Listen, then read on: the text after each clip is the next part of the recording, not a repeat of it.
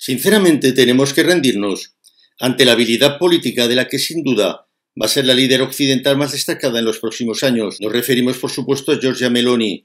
La italiana sabe combinar a la perfección el cumplimiento de las promesas electorales, su batalla cultural, con el pragmatismo en la gestión y la búsqueda de los objetivos para avanzar progresivamente en el cambio que Europa tanto necesita. La italiana ha protagonizado una jugada maestra. Aprovechando su tirón electoral en Italia, se ha presentado como cabeza de cartel en las elecciones europeas de todas las circunscripciones, avisando de que luego renunciará.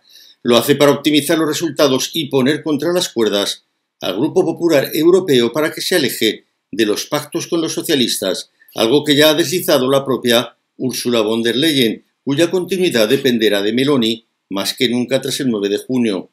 La jugada ha descolocado por completo a los socialistas y en España se ha desatado la rabia en el PSOE, aterrorizado por el cambio que llega a Europa.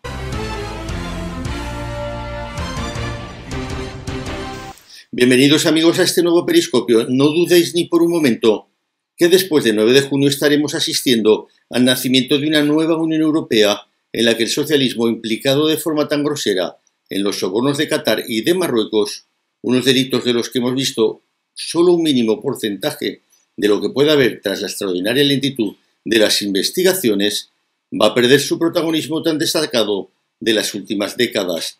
La nueva estrella europea, el nuevo gran referente de la Unión, va a ser sin duda la italiana Giorgia Meloni, que parece ir siempre un paso por delante de los demás.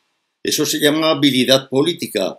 El crecimiento del grupo conservadores y reformistas en el que está incluido Vox, el partido de Abascal, puede ser exponencial junto al grupo que encabeza Marine Le Pen, se van a convertir entre ambos en la primera fuerza europea, muy destacados ante esa nueva realidad sociológica. Von der Leyen, que aspira a seguir en su cargo tras el 9J, ya ha avanzado de que puede dejar colgados a los socialistas, desatando una oleada de reacciones en España, por lo que va a afectar a un Sánchez que sigue teniendo esa fecha, el 9 de junio, como decisiva para evaluar las posibilidades de su continuidad.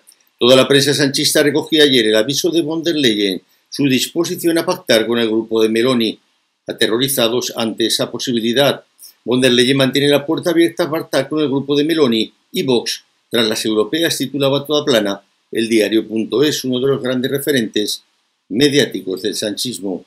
La candidata del PSOE, Teresa Rivera, ya ha salido a la palestra para decir que la postura avanzada por von der Leyen es preocupante el socialismo aún no ha asumido que es una corriente en proceso de extinción en los países desarrollados.